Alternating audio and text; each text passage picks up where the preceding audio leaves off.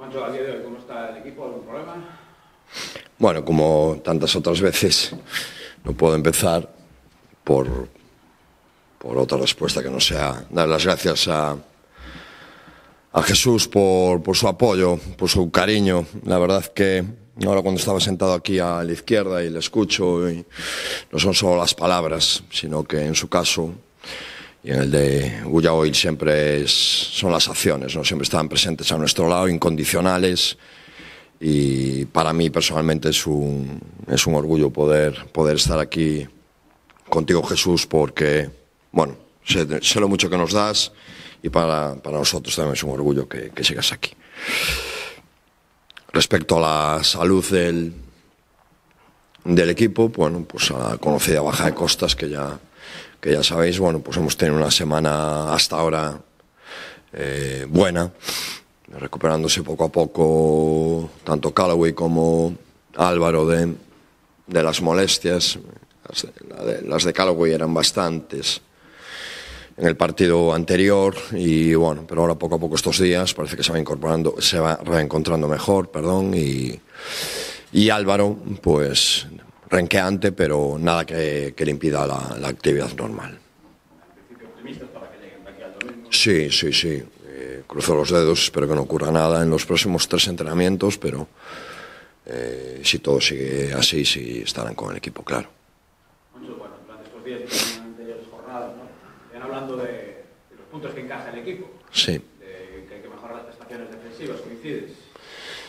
Sí, tenemos que mejorar determinadas, determinadas situaciones defensivas, sí, sin duda, ¿no? De, de todas formas, eh, bueno, todas las ruedas de prensa hacemos una valoración del partido anterior, ¿no? Y, y en este caso yo también creo que es de justicia poner en valor que la Peña hizo un partido excepcional, como lo ha vuelto a hacer ayer, con una actuación, con actuaciones eh, personales muy brillantes, ¿no? Hablamos de, de nuestro de mérito, que lo hubo en ocasiones, pero también yo creo que hubo mucho mérito por, por su parte, ¿no? Y un partido que, bueno, faltando ocho minutos, estábamos no abajo, teníamos la posesión, atacamos, bueno, una acción que pueda ser falta o no, bueno, da igual, ¿no? Pero que en el caso de, ser lo que son decisiones, pues nos hubiera puesto a siete, hubiéramos estado en el partido, inmediatamente viene una antideportiva, tres triples bien defendidos, bien defendidos, y el partido se, se lanza 20 puntos otra vez, nos meten otro en medio del campo prácticamente, bueno, si analizas el resultado final, sí es una derrota abultada, eh, pero yo creo que mm, mucha de la, del transcurrir del partido no fue tan desastrosa.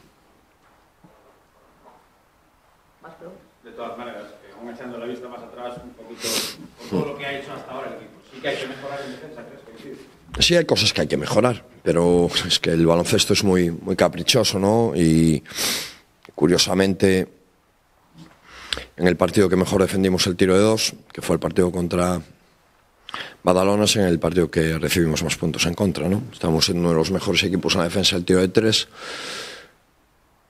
el mejor hasta hace una jornada de toda la liga, y en cambio el partido de Badalona encajamos casi 1,43 puntos, que es prácticamente recibir un 50% de las canastas que te tiran, y vuelvo a repetir, y eso ha sido también, en muchos casos, por mérito del equipo rival que estuvo acertadísimo.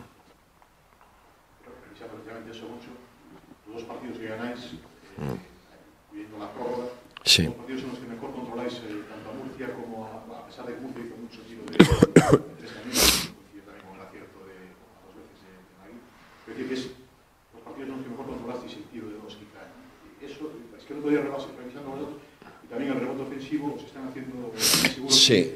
hay un dato que yo no tengo, pero seguro que sí es no solamente los que os cogen, sino eh, cuántos penalizan esos rebotes eh, ofensivos. ¿no? Sí. Por ahí esas dos flancos, Claro. parece, por lo menos en los grandes números, sin entrar al detalle que tenemos nosotros, son los que, los que más daño le están haciendo. Sí, yo creo que en el rebote en general, eh, más en el defensivo que en el ofensivo. Mm, eh, tenemos que capturar. Claro, sí. Lo que pasa es que se suele, claro, se contrarresta con nuestro rebote de ataque, ¿no? Entonces, eh, siempre somos mejores que el otro equipo en el rebote de ataque. Somos pues el mejor equipo en puntos por posesión por rebote de ataque de la liga, es curioso, ¿no? Entonces compensamos nuestros errores en el rebote defensivo con que somos los mejores en el rebote de, de ataque, pero sí es cierto que mucho de eso pasa por, por mejorar nuestro rebote defensivo. Y como os digo siempre, eh, el ataque y la defensa, aunque lo analicemos de forma diferente, van muy relacionados y hay un aspecto que tiene que ver mucho con el tiro de dos, que son las pérdidas ¿no? y los puntos que recibimos tras pérdida, porque eh, eso hace que eh, los porcentajes sean altísimos en, la recepción de, bandejas y demás. ¿no? Eso es algo que sin duda tenemos que, que mejorar, ¿no? además de los puntos que recibimos desde la línea de personal que llevamos eh, varios años siendo el equipo al que, que, más veces va el equipo rival a la línea de tiros libres, por ejemplo.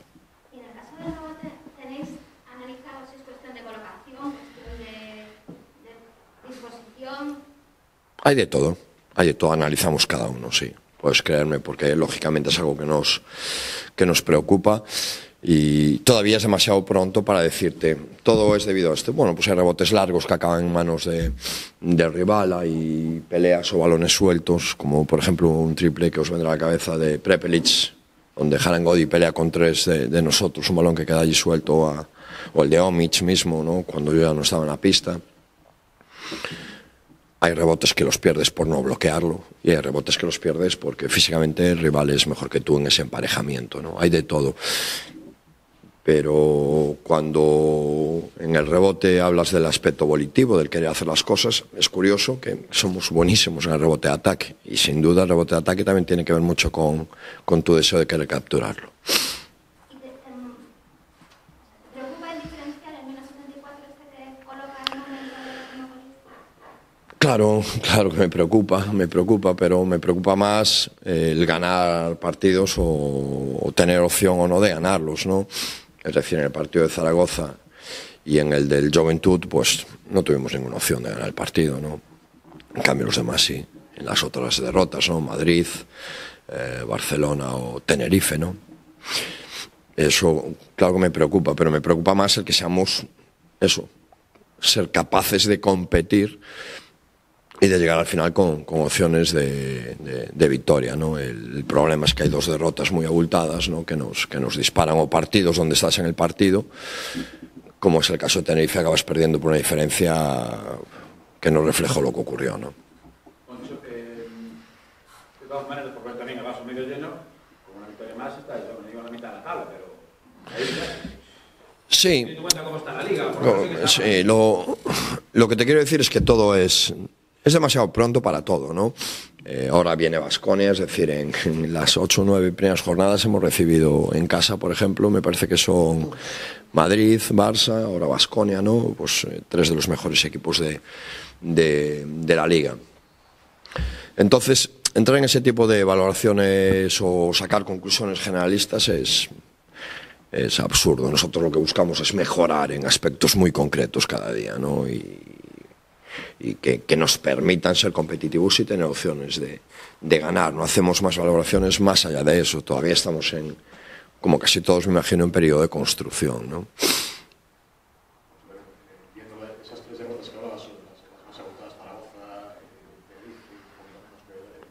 Sí.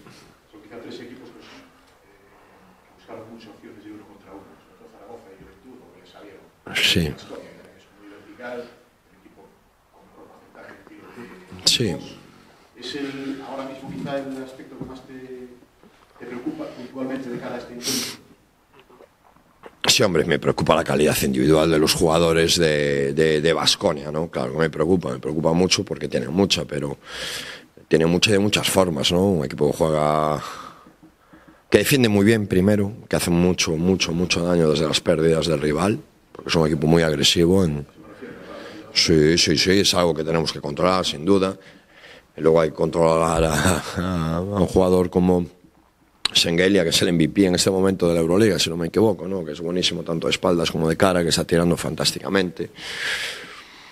Eh, las salidas bloqueadas de, de Janin, todo el repertorio de pick and roll de Henry o de Vildoza, bueno, son, son el Vasconia. Entonces, si te he dicho estos nombres y, me olvido por el camino de un gigante como Fall que cambia tantos tiros, o, Stauskas, o, o o... Bueno.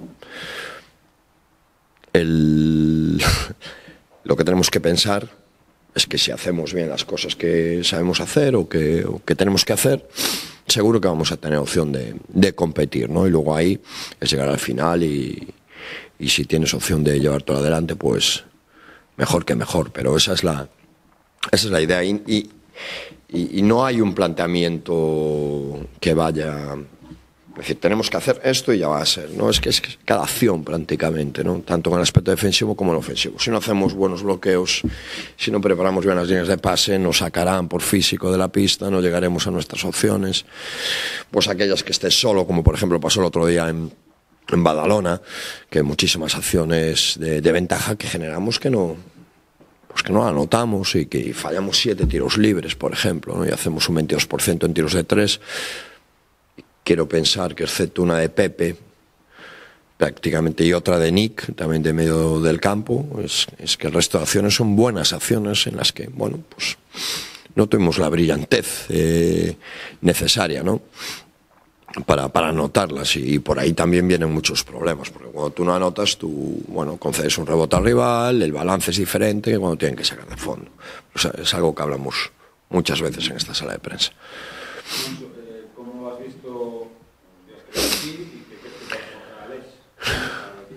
Pues lo he visto muy bien, con muchas ganas.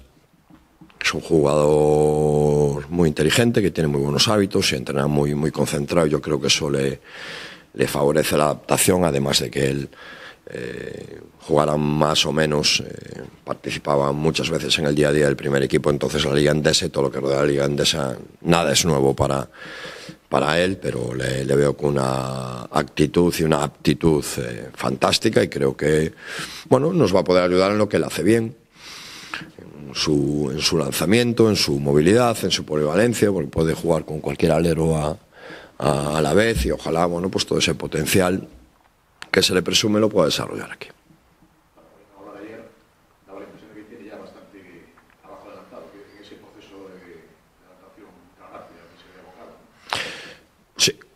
Perdona.